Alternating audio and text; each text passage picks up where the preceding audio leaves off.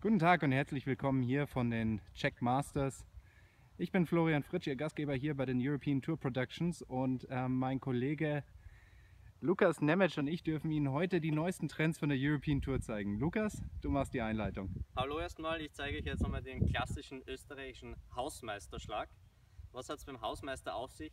Es ist ein Lobshot ohne Handgelenk. Er schaut super aus, den kann man aus jeglicher Lage spielen, ist sensationell. Ich zeige euch das. Man öffnet das Schlägerblatt, relativ, dass es sehr offen ist, einen breiten Stand und ganz steife Hände. Ganz, ganz steife Hände, lange Hände.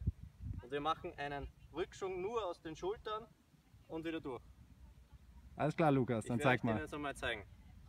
Der neueste Trend auf der Tour.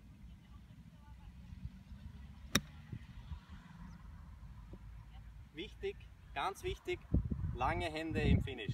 Sehr schön, Dann Lukas. sieht man, dass man die Hände, kein Handgelenk verwendet hat. Super. Darf So. ich dann also übergeben? Natürlich. Und ich zeige dann die zweite Technik des Tages. Was zeigst du uns jetzt, Florian? Ja, also wie wir sehen, hat der Hausmeisterschlag äh, gewisse Schäden auf dem Golfplatz hinterlassen.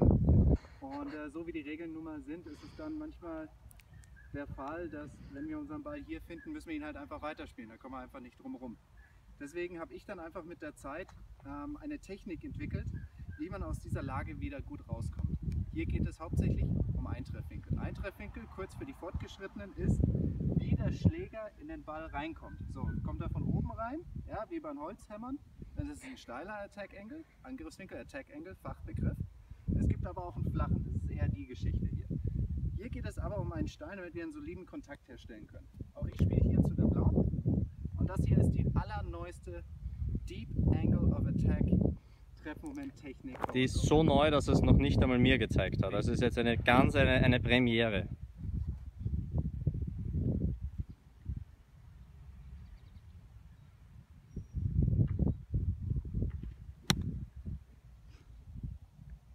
Wie ihr gesehen habt, Wahnsinn. steiler Eintreffwinkel. Ich habe einen sauberen Ballkontakt hingekriegt.